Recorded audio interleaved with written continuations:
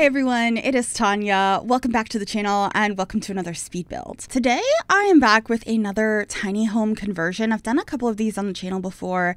I know I've done a school bus, which is one of my favorite builds I've ever created, as well as a box truck. And I can't remember if I've done a train conversion or not, but if that's something you'd like to see, let me know. But today we are making a converted van into a tiny house and it's so small it has what you need to survive, but it doesn't have everything. It's kind of like a real life van conversion where some of them have like a pull out toilet, some don't have bathrooms at all. It really depends. But I'm really happy with how this build came out, so I'm so excited to share it with you. If you would like to download it, it will be available on the Sims 4 gallery. You can find it under my EA ID, which is Gryphi, G R Y P H I, and that information will also be in the description down below as well. So as you can see, I started here with this van object, which is just from Debug. It's one of the like cars you might see driving around in the background. We don't have functional cars in The Sims 4, but there are some that like drive on the streets, you'll see. And uh, if you go into the debug menu or the show live edit objects menu, you can find those. So I grabbed that and I scaled it up with tool and kind of merged it into this box, uh, this like little room I created. And then I'm trying to put a roof on the top to try to make it blend together. It looked a little odd, but I did see a lot of van conversions that sort of have this pop up roof, so it looks like it gives it more vertical space. Uh, so that's what I decided to add on here, and I feel like that just really made it come together and feel more realistic, and I love it. I really like how this came out. Uh, but only the back 3x3 space on the interior is usable. The rest is purely decoration. And I kind of ended up decorating this lot in the end to look like it was parked here with a bunch of other trucks and stuff. So there's some public restrooms where your Sims can go ahead and use the bathroom and shower and all that sort of stuff.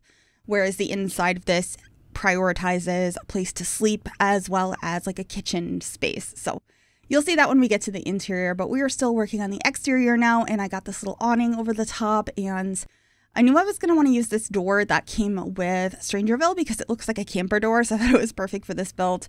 And uh, I actually decided to make it look like it was open, so I put it on a diagonal wall, which I deleted afterwards, and then put a uh, like an archway right next to it. On the back of the van, I decided to have two of these doors, and these are not going to be functional because I put a bed basically against them, as you can see here but I thought it looked pretty realistic to the interior of a lot of van builds. The one thing that I couldn't include in here because there wasn't enough space in The Sims was a double bed. I would have preferred to have a much bigger sleeping space, but I did what I could with it and I think it came out cute anyway. So here I am placing down our counters. I end up rotating the bed to be the other way just so I could make sure your Sims could get in it and it wasn't like the head was right next to the sink. I thought it looked a little bit nicer this way. And then I'm swapping out the other counter for a mini fridge. We don't have a full kitchen in here. We have a sink, a fridge, and a microwave. Uh, but I'm thinking you're mostly going to be eating in other ways, maybe at a barbecue or whatever, if you're living in this house. I just wanted the ability to do some sort of cooking here. You could also change out the microwave for one of the countertop ovens that came with Dream Home Decorator if you want to have some more cooking options. I just didn't have space for another counter.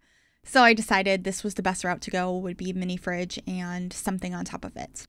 Uh, but then I'm cluttering up the space to make it feel lived in. We have like a little box that has some food in it, as well as plates and cups and utensils. And I'm just trying to clutter that all up on top of the microwave. These are things you would probably want secured while you're actually driving. Uh, but I thought for, you know, when you're parked, having them stored here on top of the microwave would make sense. And fortunately for us in The Sims, it doesn't function that way anyway, so it's totally okay for these to just be sitting there. I just used move objects to place them, and I also really liked that clutter piece I put above the sink.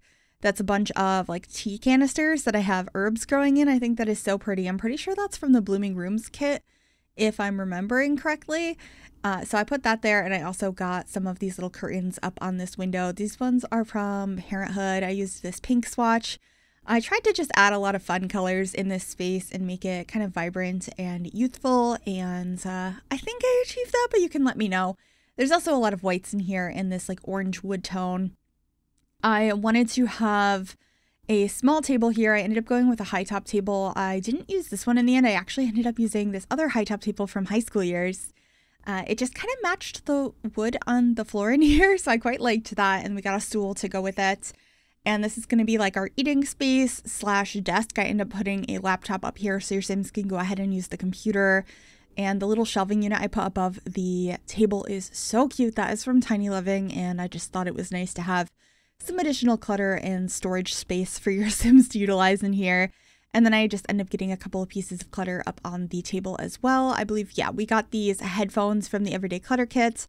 Uh, so that way it looks like your Sims can have some headphones to use while they are on their laptop. We got some paper towels and a little mirror by the front door as well. It's a really small space, but I had so much fun cluttering it and trying to make it feel realistic and lived in. So, like little touches here and there, like this hanging plant in the corner, I thought were fun additions. And um, it, it is pretty cluttered. I do like decorating cluttered spaces though. I also got a calendar over there and some extra storage pieces in this bookshelf.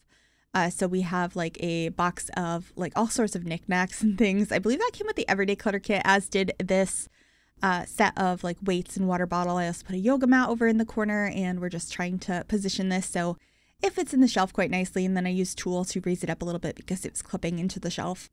And uh, yeah, that should be it for the bookcase. I just wanted to add a couple of things in there, and then we get a little rug in here as well, just to make it a little bit cozier when you get out of bed. We have wood floors on the inside. I was thinking they were probably like fake wood, um, you know, like a laminate, I guess, that is put down in this van since this is supposed to be a van conversion, a little house in a vehicle. And uh, I got a little bedside table. This one is from high school years. I really liked the how small it is. It's just one of the modular pieces. It's not really meant to be a bedside table. It's just like a little cabinet. I thought it was quite cute. And then I ended up adding some pieces here, some magazines and swatches and things. I was thinking it would be kind of a fun idea if this sim was a traveling interior designer. So they have like this whole van life. They travel around the country or wherever they are and they live out of their van, but they're going around and redoing people's spaces. That sounded so fun. So that was kind of something that came to be while I was decorating. As you can see, I grabbed a lot of those items from Dream Home Decorator. I also thought that the sim probably enjoyed plants, so I have a few of those throughout. We have that one over the sink, but I also added these little seedlings over here, which I think are so cute. Uh, those ones are from the Greenhouse Haven kit. So I put them in front of this window that's right above the bed. And I just get a couple other pieces of clutter over in this area to make it feel like it's fully decorated. Uh, I think we end up adding some books up there. I feel like that's always just a nice thing to add to clutter up a space. It looks realistic and filled in. And that's a new bookshelf that came with the Book Nook kit. I'm really loving that kit. I've been using a lot of it. And then I just grabbed another curtain to go over that window. Uh, of course, getting some more plants. The hanging plants that I used in this tiny home are from the Nifty Knitting Stuff Pack. They're the ones you can like knit the the like ropes and stuff that are attached to them. And then I also wanted a different headboard than the one this bed originally came with. So I ended up rotating the cutting board from uh, the Cool Kitchen stuff pack and moving it over here and scaling it ever so slightly with tool. So that way we had a nice headboard, and I think that worked quite quite well. I was quite happy with it. I rotated it around because on the front side there's some like scratches and dents and stuff from knives, whereas on the back side it's just like clean wood. So that worked quite well. And I changed the swatch of the bed as well, so it's a bright yellow, and I just think it makes it a little bit happier in here lots of fun colors. And then we are heading to the exterior to work on the landscaping. Uh, we are in here on the inner circle lot in Del Sol Valley. I really like the placement here. It's like at the end of a cul-de-sac. And I don't build here very often because it's such a big lot. Uh, but I like the environment of this, and I thought it would work nice to have like a few different cars and trucks and stuff parked here. I didn't make any of the other ones like a converted van. I just have some random trucks. You could probably put some of the debug like um airstreams and trailers and things as well or place down some other tiny homes that are conversions. I feel like it could be a lot of fun to play on this lot with a bunch of different sims that are all like kind of traveling and stopping here for the night, like a little campsite. That's kind of the vibe I was going for. So uh, I grabbed some trees from Debug that are all from like the surrounding world or ones that looked similar to the ones I was seeing in the background of this world in this area anyway, and tried to make some of it a little bit overgrown. There's some fencing around as well, just to make it feel somewhat enclosed And then there ends up being like a cement block that I was thinking was put there to be like a place that you park in front of so you can hang out in that area. Uh, like I said, I was thinking this was more of a specific parking spot. That's what this area is for. Uh, so just getting some greenery around there. We got a bunch of plants and grasses, uh, lots of trees as well. There's a couple of palm trees on this lot, which I think are so pretty. And it takes a while before I decide to add the other cars, but I think we should be doing that now. I just was having fun uh, getting all of the greenery going, and it doesn't end up being that full of a lot, but I do have a couple of these trucks. And we'll have a public restroom piece as well. We have a few of those in the game now.